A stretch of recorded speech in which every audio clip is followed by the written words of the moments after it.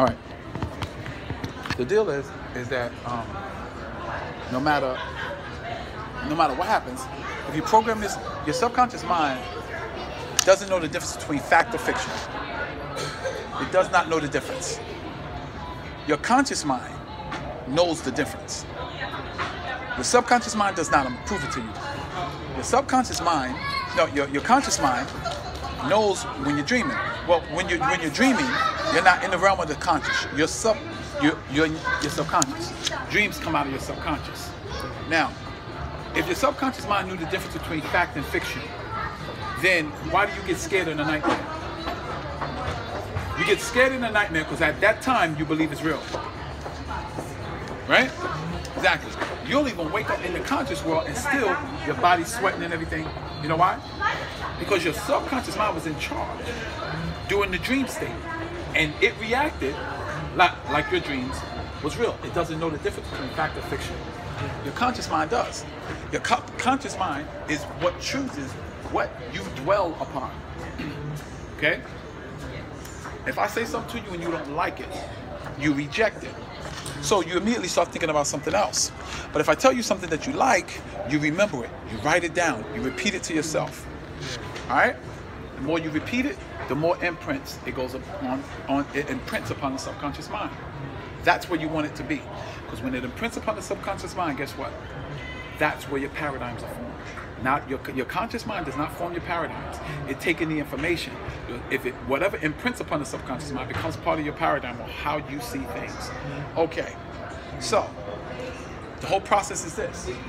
You have to choose what thoughts you're going to let imprint upon your subconscious mind through meditation, prayer, whatever you want to call it. All right. That's the power of this book. You get these thoughts and you repeat them over and over and over, memorizing. When you memorize them, every time you say one of them to yourself, every time you look at them, look in the mirror and say it emotionally, it prints even deeper on the subconscious mind. So instead of saying "I'm a champion," say "I am a champion." That imprints deeper. Okay, every time you say it, boom, that's an imprint. Boom, that's another imprint. Boom, that's another imprint. Like if you remember typewriters, when you would type, if you typed it one time, it has a certain, uh, it's dark like like a one uh, one time you print it. But the more you backspace, hit it again, backspace, hit it again, backspace, it imprints deeper, and the colors right. It gets to the point where if you wrote a whole page of letters of, of, of, words, but you imprint printed one word over and over and over and over, you can look at the whole sheet of paper, but that one word to stand out. That's what you want.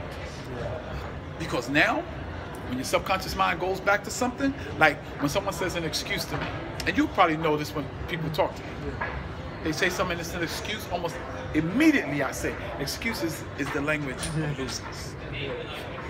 Or I'll say something, you sound like a gazelle or a sheep. There you see?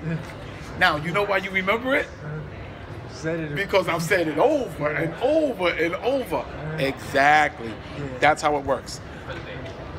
Now, if you want now, when you control it, now remember, things are going to imprint on your subconscious mind all the time. But you can choose what imprints and what imprints deeper. I take, see, I have a tendency to take charge of what imprints on my mind. So I'm in my house listening to Les Brown say, yo, Jamie Colon, got you. You know, I'm in my house saying all the time, um, uh, you might not could do it, Jeff but it is possible. That's what Les Brown says all the time. I don't want you to say you can do it, but just admit to yourself it's possible that it can get done. It's possible that I could do it. It's possible that that could be for me. It's possible that that's going to be my big break. Just admit that to yourself. Say it enough, it imprints. Boom, boom, boom. It's not it, it's not a difficult premise. Prayer. People will tell you right up front. Prayers is you saying scripture over and over and over and over and over and over. You read the Bible. They tell you, yo, read and study the Bible. What they're really saying is say it over and over and over. God commanded the Israelites when they went out of Egypt to rehearse, which means repeat or meditate, this in the ears of your children. The great things that God has wrought in your lives. You know why? Because the more they imprint it in their minds, guess what they believe? Exactly. There you go. And that's how they look at it. God is going to bring forth great things in my life. Why? Because he did it for my father. He did it for his father. Da, da, da, da. 1%. And that's how the process works. Now, here's the maliciousness, or not even the maliciousness, I would say the, um, the problem with the inner city or poor neighborhoods. In poor neighborhoods, what images are constantly repeated to your mind?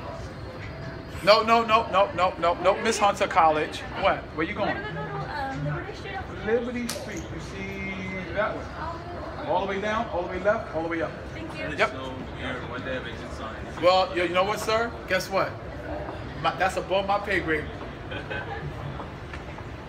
Now, See, over and over and over and over. The power of music is that they play the record over Oh, and yeah. over until you get to the point where you go and you buy it. Mm-hmm. How can I? It says mostly a negative image. One percent. But the negative images that's in the inner city, they imprint upon the minds of the kids in the inner city, Yeah. Mm-hmm. and you constantly sending those images there. They don't even know how to function Yeah. in an urban or a, a, a, um, a, a, suburban neighborhood. They don't even know how to function. Yeah. They start looking for stuff to steal Yeah. Pretty much. because they don't even know how to function because you've never programmed them to do. You never programmed them. It's not about color of skin. Yeah. Because constitutionally, which means what we're made of, we're all the same. Yeah, like But the fact of the matter is, is that you won't act the same if you've been constantly told that dark-skinned, black, Puerto Rican, Hispanic, Latina, whatever, is more apt to drop out of school, or more apt not to work a job, more apt not to be educated, more apt, you understand? If, if black men are constantly programmed that you are less than your Caucasian and Asian counterparts, you're going to perform that way. Because it, it accesses if your subconscious mind that creates a belief, and belief is what you act on. I'm going to act on the negativity that was given to me. I was told for years, you will never be nothing. And at one point, I was homeless in my life, and I wasn't nothing. You see what I'm saying? So, and that's the that's the whole uh, blessing of church. Because when you go into the church, you get saved. What do they tell you? You are now saved. You are a child of God. You are now a saint of the Most High. What is that doing to you? We changing the paradigm. Now you're something special. Now you're in a group. Uh, Okay, let's look at it on a negative sense. What do Crips of Bloods tell you? You are now a blood, son. You blood, son. You you different now. You part of it. Yeah. Changing the paradigm. That's what it's all about. It's the psychology. That's what it's all about. I'll tell you right now. Most people do not keep a consistent workout ethic is because their paradigm will never change. Their conscious mind will say, I want to work out. But guess what their subconscious mind says, which is more powerful than your conscious mind? It's more powerful, but it still doesn't know the difference between fact and fiction. So guess what it's doing? It's constantly fighting against your your conscious mind saying, I want to work out, I want to work out, I want to work out. You know what your subconscious mind is saying? Yeah, but you fat, you fat, you fat, you fat. So if you don't keep putting in your mind, I'm gonna work out, I'm gonna work out, I'm gonna work out, I'm gonna work out, because the subconscious mind is gonna keep saying what it says until it's overcome through visualization. And check this out pictures imprint deeper on the subconscious mind than words do. Ooh. Dropping, dropping jewels right now. Pictures imprint deeper on the subconscious mind than words do.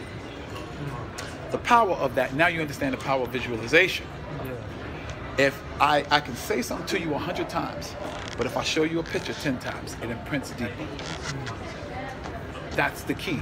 That's why you don't your TV. You want to get away from that. Yeah. You want to get away from soap operas. You want to get away from these negative talk shows and all this kind of stuff. Why? Because they put pictures in your mind that you're meditating upon. Check this out. The Bible says faith is the substance of things hoped for. What is that? That's a picture in the mind. What do you hope for?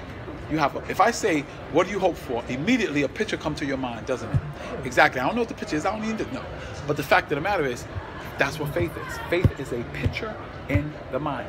Faith is created by pictures in the mind. That's why the first thing God gives you when He wants you to do something is a vision. Yeah.